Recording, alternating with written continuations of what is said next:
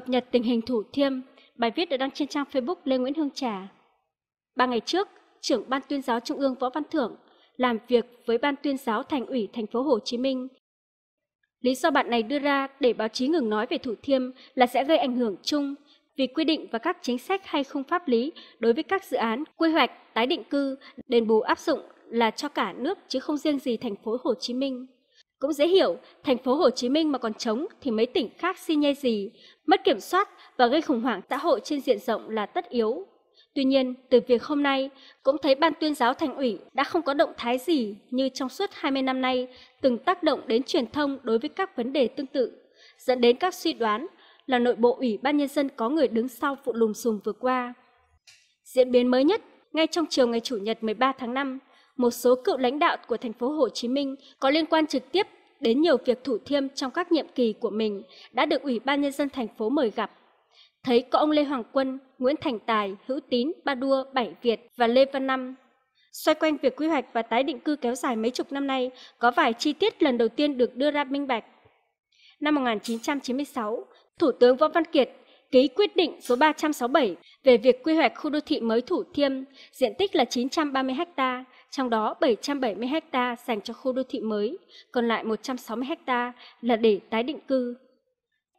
Năm 1998, kiến trúc sư trưởng Lê Văn Năm ký bản quy hoạch theo quyết định của Thủ tướng. Trong hai năm đó, đã cấp phép 42 dự án trong khu tái định cư. Vấn đề là ngay sau đó, thành phố đã lấy đất khác bù vô trong quyết định năm 1998. Thời này, ông Bảy Thanh làm chủ tịch, bản đồ quy hoạch do ông Bảy Việt ký. Có một phần lệch hơn 4 hecta là do trừ dự án khu biệt thự Lan Anh của chị Võ Hiếu Dân, con gái ông Kiệt ra. Có mấy chục hộ dân giải tỏa là chỗ này. Năm 2004, thành phố Hồ Chí Minh bỏ ra 600.000 đô thuê Sasaki Associates của Hoa Kỳ tư vấn quy hoạch. Lúc thực hiện thì vẫn có quy hoạch khu Đông Tây Nam Bắc xung quanh Thủ Thiêm, lớn nhất là khu Đông, vùng sát trung tâm thành phố Hồ Chí Minh, có khoảng 6.200 căn hộ, nhưng hiện nay chỉ có 350 căn hộ ở lại do đa phần là nhận tiền đất luôn. Một vài vấn đề tôn giáo cũng được làm rõ là khi Phó Thủ tướng Nguyễn Công Tạn ký bản đồ quy hoạch là không có đất tôn giáo nằm trong khu trung tâm. Bản chất BT ít bị phản ứng hơn so với bốt, nhưng hình thức này cũng rất dễ bị lợi dụng bóp méo và biến tướng do thiếu công khai minh bạch, lợi ích nhóm chi phối. Những việc quy hoạch thu hồi đất và đền bù giai đoạn hậu Võ Văn Kiệt cùng với các vấn đề trên có thể sẽ được thảo luận tại hội nghị thành ủy lần thứ 17 diễn ra vào chiều ngày 14 tháng 5 tại chùa Thiền Tịnh quận 2. Trong một động thái mới nhất, vào chiều tối ngày 12 tháng 5, anh Bí Nhân dẫn một đoàn đi thăm, tặng quà cho các cơ sở tôn giáo trên địa bàn Thủ Thiêm. Có khoảng 22 cơ sở chùa chiền, nhà thờ trong khu vực quy hoạch, hiện đã bị hô biến qua chỗ khác. Theo tường thuật, thì tình hình các nhà chùa rất vui khi được hỗ trợ thêm 20% đất, hỗ trợ tiền di rời, xây dựng lại chùa mới to đẹp hơn và Phật tử đông hơn. Chưa hết, nghe bên Phật giáo có phàn nàn là nói chấp hành đi hết, mà tu viện thủ thiêm không đi thì không bình đẳng tôn giáo. Xin kính chào quý vị và các bạn. Sau đây xin kính mời quý vị và các bạn cùng theo dõi bài viết sâu chúa trong đại án thủ thiêm rốt cuộc là ai. Không phải ngẫu nhiên mà khu đô thị Thủ Thiêm lại trở thành một miếng mùi thơm hấp dẫn các đại gia bất động sản và một số quan chức thành phố Hồ Chí Minh. Nằm ngay ven sông Sài Gòn, đối diện với khu trung tâm sầm uất sang trọng hàng đầu thành phố, khu đô thị Thủ Thiêm đã được các nhà hoạch định chiến lược làm giàu vẽ ra một bản kế hoạch với đầy đủ thủ đoạn thâm độc, hòng tìm cách vơ vét càng nhiều đất thủ thiêm càng tốt. Cái kim trong bọc lâu ngày cũng lòi ra. Nhưng một vụ án mà suốt 20 năm mới bị phanh phui thì không thể chỉ một mình thành phố Hồ Chí Minh tự tay che cả bầu trời. Vậy phải chăng, ngay cả với những vị ở Trung ương cũng từng dính tay trong cuộc tàn sát Thủ Thiêm năm ấy? Khu đô thị mới Thủ Thiêm quận 2 thành phố Hồ Chí Minh là mảnh đất rộng 930 ha từ năm 2002, lãnh đạo thành phố đã vội vã ra lệnh thu hồi đất khi chưa thực hiện những quy định bắt buộc của pháp luật. Sự vô trách nhiệm thấy rất rõ khi dự án khu đô thị mới Thủ Thiêm được gọi một cách mỉa mai là dự án 40, tức là không dự án đầu tư, không quy hoạch chi tiết, không phương án bồi thường và không nhà tái định cư. Không dừng lại ở đó, với xã tâm thu hồi đất với chi phí thấp nhất các vị lãnh đạo thành phố Hồ Chí Minh thời ấy đã chỉ đạo đàn em lấy giá đất từ năm 1995 theo quyết định số 05 ngày 4 tháng 1 năm 1995 để bồi thường cho dân từ năm 2002 đến giờ. bất chấp các quy định của Quốc hội và chính phủ bồi thường sát giá thị trường.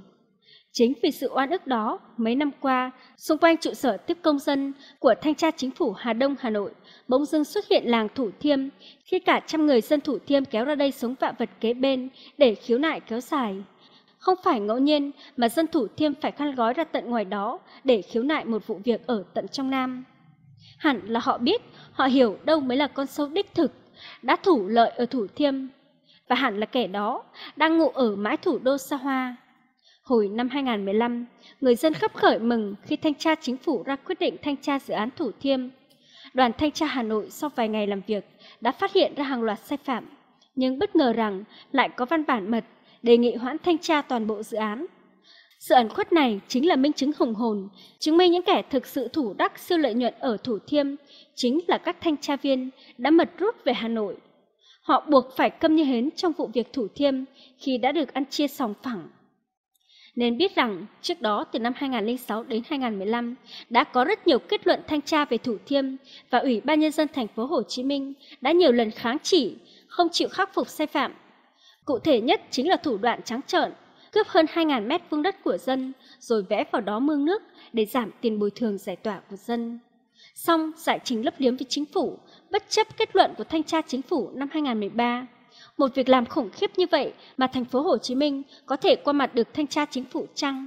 Những vị lãnh đạo thành phố Hồ Chí Minh liệu có đủ tầm để thò bàn tay lên tới tận trung ương nhằm tác động tới họ? Hay chính những kẻ nằm trong trung ương đã liều mạng đến vậy?